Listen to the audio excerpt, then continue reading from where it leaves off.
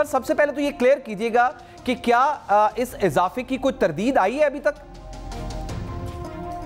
ہری سطح پہ تو کوئی نہیں آئی جی۔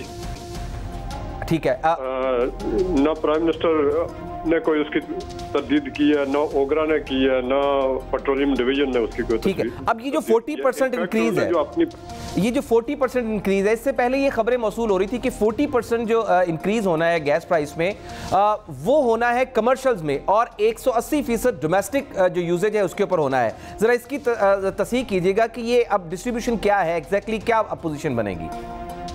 سر صورتحال یہ ہے کہ یہ فیصلہ جو ہے ای سی سی نے کرنا ہے کہ کون سے سیکٹر پہ اور کون سے کنزیومر کے اوپر اور کون سی کنزیومر سلیب کے اوپر کتنا اضافہ ہونا ہے۔ ٹھیک ہے۔ اوگرا نے جو اپنا اسٹیمیٹ دیا ہوا جو انہوں نے کیلکولیشن کر کے اپنا ججمنٹ دی ہوئی ہے اس کے مطابق average forty six percent increase ہونی چاہیے۔ تقریباً دو سو تیس روپے پر یونٹ وہ بنتی ہے۔ تو اس کو آگے گورنمنٹ نے کون کون سے سیکٹر پہ کیسے ڈسٹریبیوٹ کرنا ہے یہ ای سی سی فیصلہ کرے گی۔ رائٹ اچھا مجھے یہ بتائیں کہ یہ جس وجہ سے انکریز کی جا رہی ہے یعنی جو گیس لائن لاسز ہیں اس کے لیے کوئی بات کی گئی ہے کہ وہ کیسے ٹھیک کرنے ہیں؟ اس کے لیے ایک پرائم منسٹر نے تو ہدایت کی تھی کہ کمپریہنسو پلان بنایا جائے۔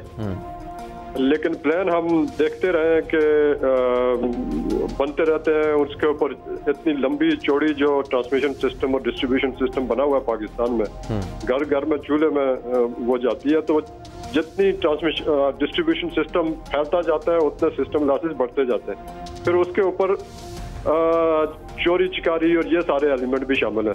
تو سب سے بڑا جو لاس کہا جاتا تھا پچھلے عرصے میں بتایا جاتا تھا کہ کرک کے ایریا میں جو جو مین پائپ لائنز ہیں، ان کو لیک کیا جاتا ہے۔ وہ سب سے بڑا لاس ہے۔ اسی طرح کچھ بلوچستان کے ایریاز میں بھی ہیں۔ باقی ملک کے باقی حصوں میں بھی ہیں۔ جہاں بڑے بڑے جہاں لا اینڈ آرڈر کے پرابلم کریٹ کر کے اس طرح کی بجلی، اپنا گیس کی چوری کی جاتی ہے۔ اس کا ایک بڑا امپیکٹ ہے۔